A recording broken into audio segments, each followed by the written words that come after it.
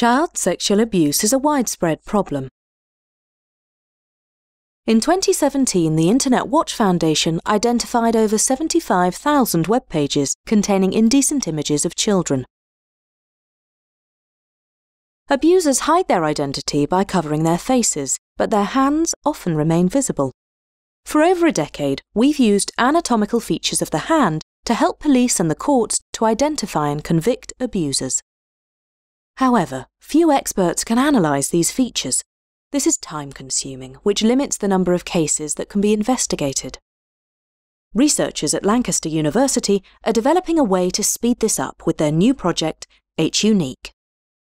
H-Unique will train computers to automatically and accurately extract and compare anatomical information, such as vein patterns, knuckle creases, freckle patterns, moles, and scars. We need lots of images of people's hands so that we can train computers, and we need your help. Please go to the H-Unique website to upload photos of your hands and make a valuable contribution to this research.